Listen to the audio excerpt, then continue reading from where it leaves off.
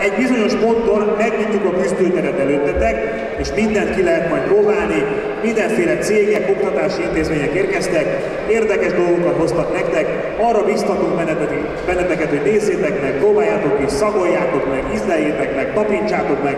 Az érdeklődő fiatalokat két ismert Forma 1-es kommentátor és autóversenyző Szújó Zoltán és Weber Gábor kalauzolta végig a Box utcákon, itt mutatkoztak be azok a cégek, középiskolák és felsőoktatási intézmények, akik a pályaválasztással kapcsolatban nyújtottak segítséget. Mi abszolút hiszünk abban, hogy bizonyos impulzusok meghatározhatják az életünknek a sorsát nagy döntéshelyzeteknél. Hát ezek a fiatal gyerekek igen nagy döntés előtt állnak, amikor a pályaválasztás előtt állnak. Ez a rendezvény ezt adja meg nekik ezt a lehetőséget, hogy ilyen kis impulzusokkal, ilyen kis ízeket mutatunk meg nekik, meg lehet kóstolni, és egy ételről is nagyon gyorsan el tudjuk dönteni, hogy ízlik vagy nem ízlik. A szimulátorok, robotok és egyéb látványos technikai eszközök felkeltették a diákok érdeklődését, a Mi a Pálya című fesztivált első alkalommal rendezték meg Győrben.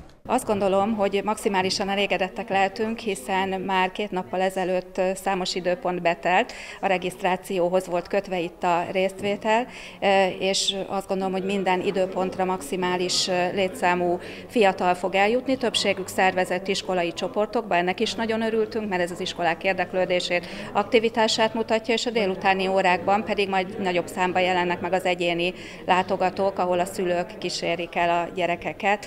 Többségükben részben pályaválasztás előtt álló 7.-8-as diákokkal. Szinte minden nap hallhatjuk, hogy munkaerőhiány van, a műszaki szakmákban pedig még inkább szükség van az utánpótlásra, nem véletlen, hogy az egyik magyarországi energiaszolgáltató vállalat a rendezvény mellé állt. Minket is kifejezetten érint az alapszakmáknak a kevésbé preferált választása, így a villanyszerelő szakmunkás, illetve a műszaki pályán lévő mérnökök, villamos mérnökök terén.